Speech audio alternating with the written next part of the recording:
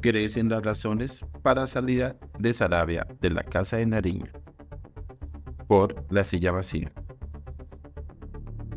Laura Sarabia, la mano derecha del presidente Petro, está cansada en su puesto como directora del DAPRE. La información la corroboran fuentes de su entorno político quienes pidieron la reserva de sus nombres.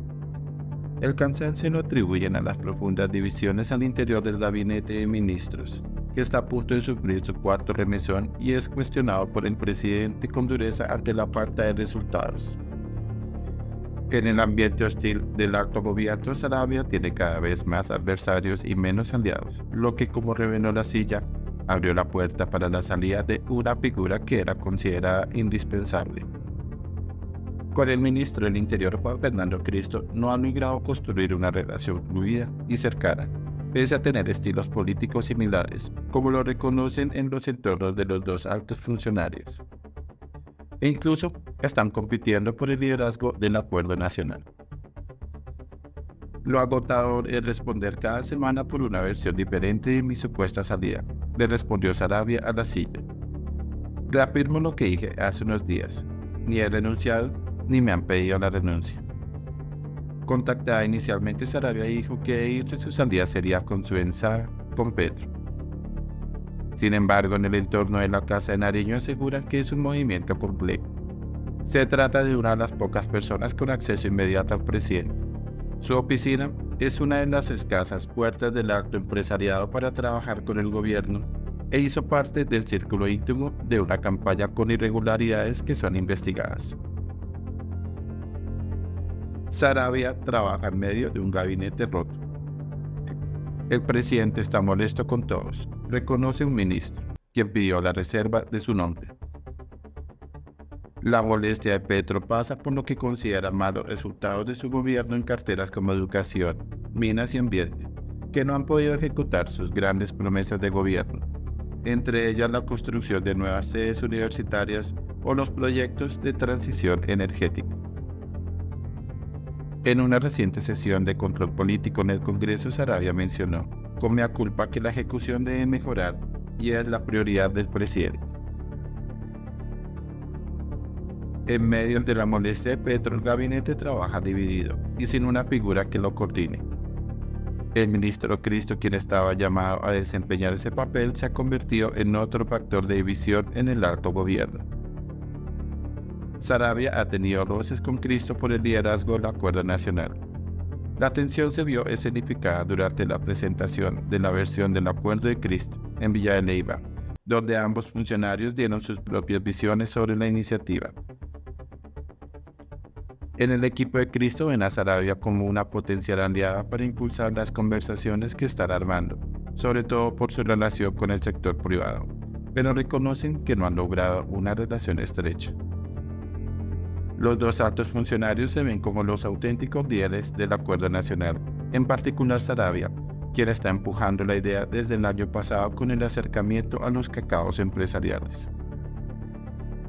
En el entorno de Sarabia piensan además que están sufriendo un nuevo ataque por parte del ala más a la izquierda del gobierno para desprestigiar a la alta funcionaria.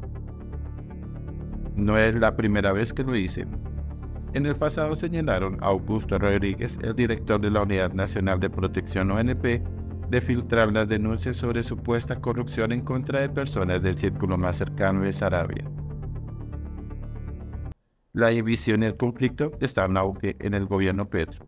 Por ejemplo, el pulso político por la reforma al Sistema General de Participaciones, SGP, dejó enemistado a Cristo con el director de planeación, Alexander López, quien presentó en el Consejo de Ministros los escenarios más pesimistas frente a una posible crisis fiscal y seguirá intentando en el Congreso bajar el porcentaje para repartirle dinero a las regiones.